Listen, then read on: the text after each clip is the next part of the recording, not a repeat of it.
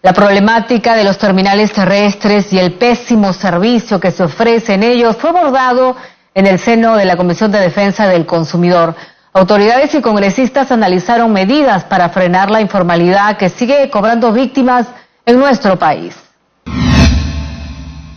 En sesión extraordinaria de la Comisión de Defensa del Consumidor, el ministro de Transportes Edmer Trujillo explicó que el procurador público ha interpuesto un proceso penal por falsa declaración presentada en torno a la tragedia de la empresa de transporte interprovincial Saji en Fiori, donde murieron 17 personas. Se ha realizado la suspensión preventiva por 90 días de todas las rutas de esta empresa,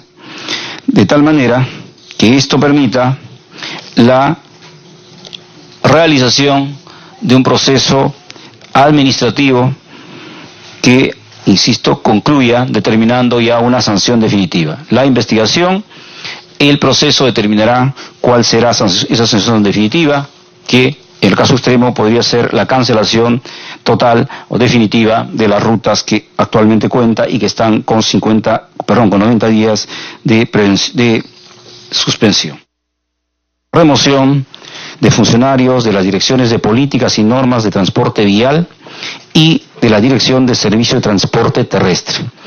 ¿Y esto por qué? Porque hay la revisión detallada de los requisitos, de los documentos, se advierten una serie de deficiencias que es necesario corregir y que más adelante algunas las vamos a precisar. Además,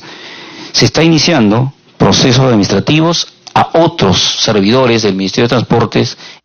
el brigadier del Cuerpo General de Bomberos, Roberto Ángeles, dijo que como testigo no era explicable que los pasajeros no hayan podido salir cuando les advirtieron del hecho.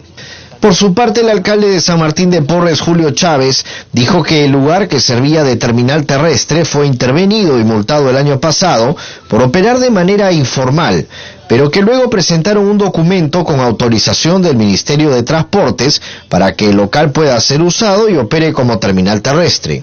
Que este espacio físico donde ocurrieron los hechos el pasado domingo no era un terminal terrestre, sino era un garaje y que, como ya se ha mencionado aquí, en un operativo conjunto realizado entre la Policía Nacional de Perú, OSINERMIN y la Municipalidad de San Martín de Porres, después de un trabajo de inteligencia y seguimiento, se procedió a intervenir justamente este mismo espacio físico en atención a la constatación de que se estaba suministrando combustible en forma clandestina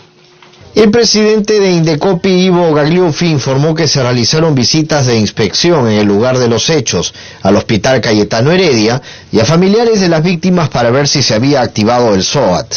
Indicó que se ha iniciado un proceso administrativo sancionador contra la empresa Sagibus por la falta de idoneidad y seguridad